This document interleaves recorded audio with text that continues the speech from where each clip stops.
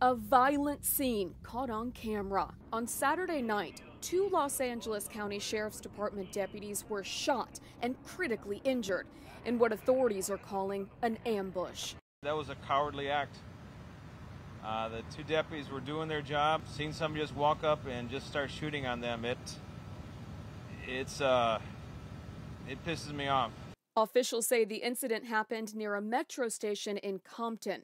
Video of the incident appears to show a man walking up to the deputy's car and then firing several shots before running away.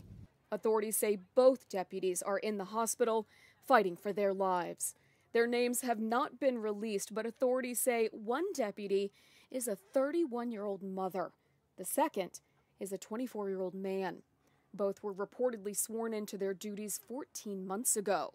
This is just going to be add to the things to be on alert for and start a buddy system, watching over each other's back. Overnight at the hospital where the deputies were transported, a crowd was heard chanting anti law enforcement slogans. Los Angeles Mayor Eric Garcetti says the city is united in denouncing that type of behavior.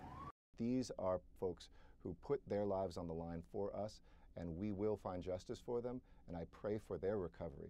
On Sunday, deputies blocked off streets in the area searching for the suspect. I'm Britt Conway reporting.